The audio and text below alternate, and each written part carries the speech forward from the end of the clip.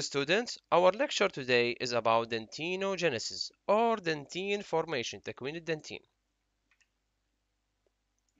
The dentine is formed by cells called odontoblast اللي تجي من differentiate from ectomesenchymal cells of the dental papilla مثل ما حكينا سابقا. بتتأثر بالخلايا of inner enamel epithelial cells فتتحول من dental papilla cells إلى odontoblast. فبالحالة ال dental papilla هو ال formative organ of the dentin وبالنهاية يصير ال pulp. من تشوفون هذا بال slide قبالكم dentin formation during early bell stage of tooth development. من ال apex مال tooth dentine formation spreads along the slopes of the cusps.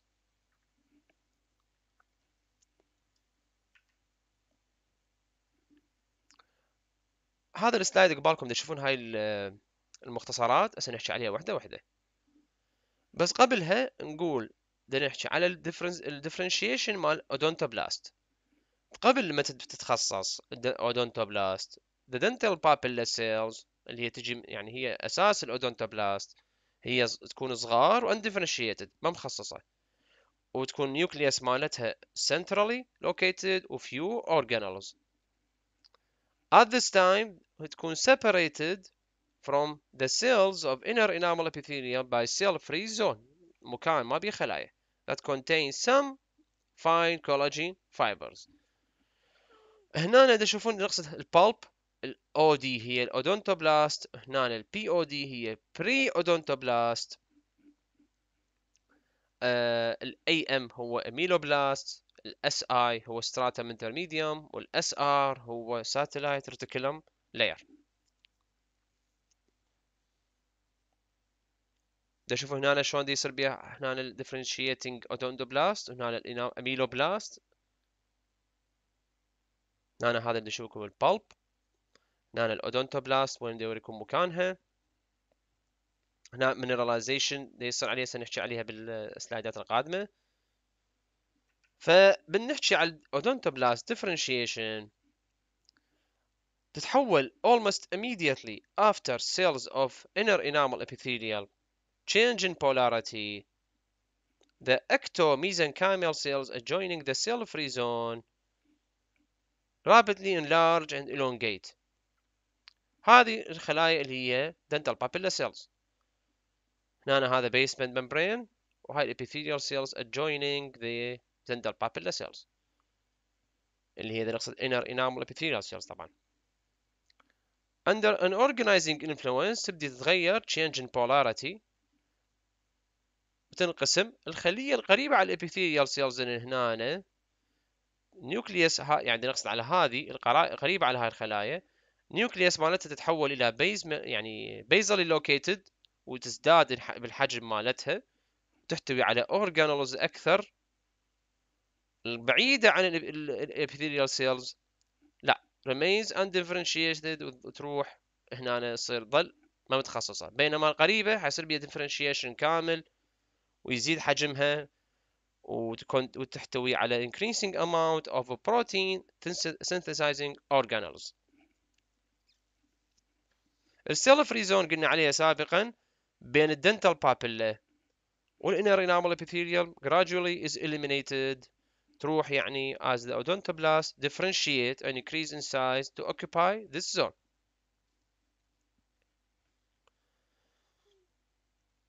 ال odontoblast بالاخير يصير ال length مالتها تقريبا 40 نانومتر وال width مالتها يظل نفسه اللي هو 7 نانومتر لازم تعرفون شغله انه dentinogenesis is actually begins before the start of enamel formation يبدي قبل ما يتكون enamel وبعكس ال amelogenesis هو يستمر ويا الحياة مع الشخص ما يوقف Next we talk about the formation or the formation of dentine تكوين ال dentine أو dentinogenesis يكون على two stages الأول هي formation of dentine matrix اللي يسمى pre-dentine ثاني step هي mineralization of this pre-dentine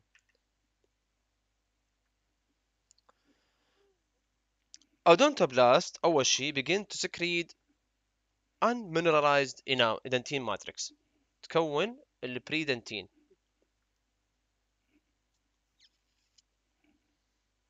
هاي ال odontoblast نشوف شلون شلون تتحرك. هنا همين صورة لخ لل odontoblast هسه نحكي على شغلة شغلة موجودة بهذا ال slide.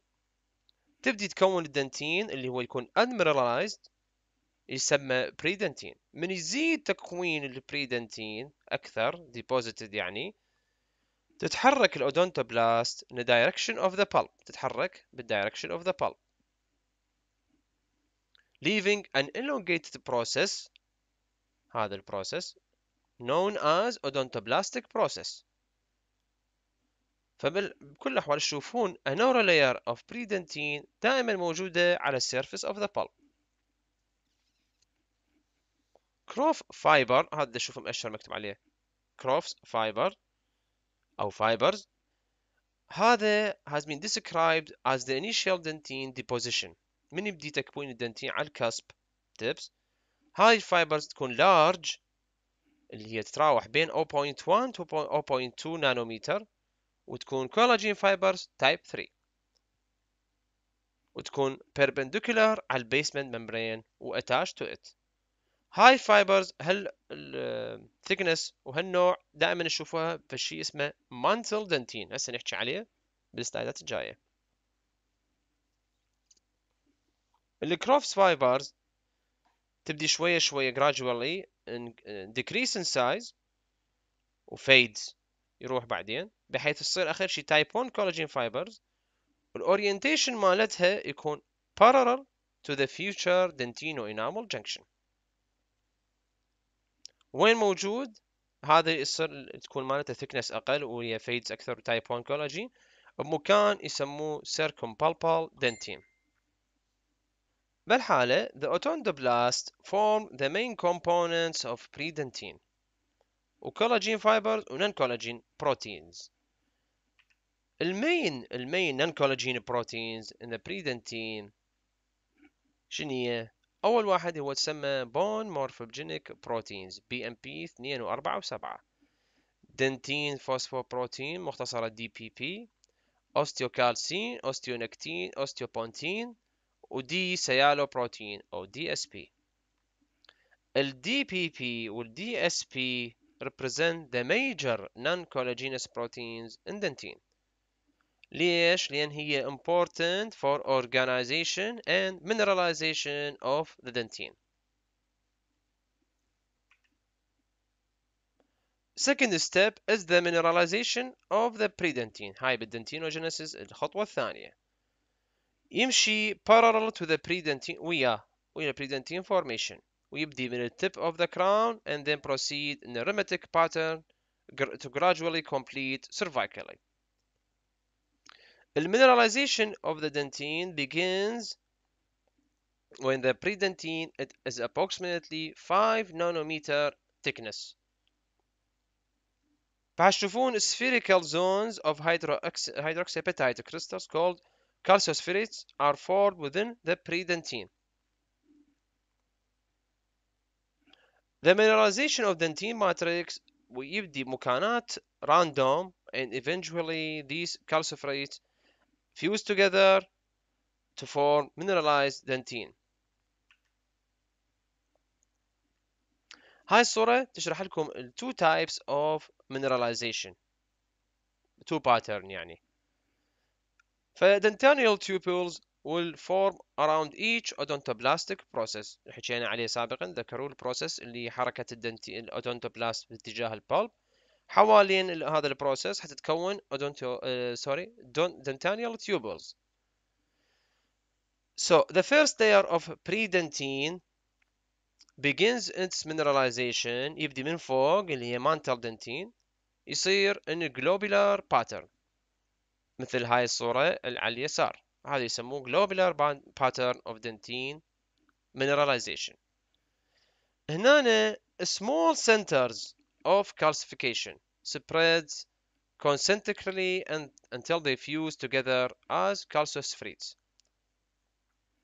This mineralization shown يصير occurs by buds of small matrix vesicle an electron microscopic budding of cell in cell membrane of odontoblast that contains the first hydroxyapatite crystals and alkaline phosphatase enzyme يكون سطحي قريب على ال basement membrane هذا اللي نحكي عليه ال mineral phase يعني هو mineralization phase first appear within the matrix vesicle تبدي اول شيء هذا داخل هذا ال matrix vesicle على شكل single hydroxyapatite crystals هاي crystals grow and rupture و fuse with other crystals موجودة to form a continuous layer of mineralized dentine matrix هاي وين بدنا نحكي؟ بال mantle dentine. من يبدي أكثر يزيد يجي ويمشي ال mineralization لي جوا يوصل للمكان اللي نقصد عليه اللي هو circumpulpal dentine هنا ال mineralization goes in linear pattern مو globular و sometimes globular.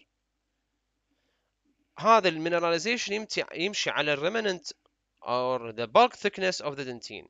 هو أكثر شيء ثخن هو circumpalpal dentine مو المانتل.